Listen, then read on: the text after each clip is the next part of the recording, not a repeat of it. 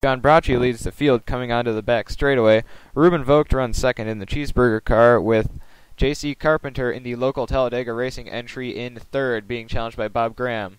Going into turn three, huge trouble on the back straightaway. Coming into turn three, Zele Perez in the air, flipping violently in the catch fence. Oh my. Bracci leads the field back to the uh, yellow flag to complete lap five and go on to lap six. But you can't help but be concerned for Jose Le Perez in the 40. Um, that was a massive accident.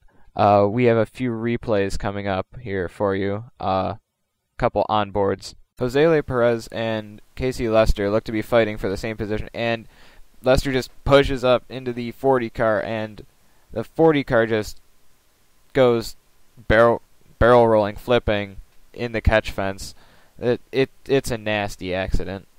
Rene Ricarmia gets a pretty big piece. Uh, he was really looking forward to making this race. Uh, shame he won't, unfortunately.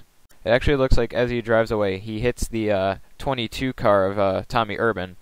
Uh, another car that we have an onboard of is Ryan Griffin, uh, one off this week for Great Lakes Motorsports, and he actually the camera gets damaged pretty badly.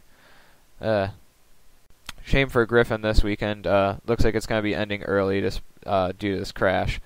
Uh, we have another onboard from Lenny Jacobs in the TMR car. It looks like he didn't get too much damage from this hit, but right now he's sitting in the garage, so his day looks like it's over pretty early.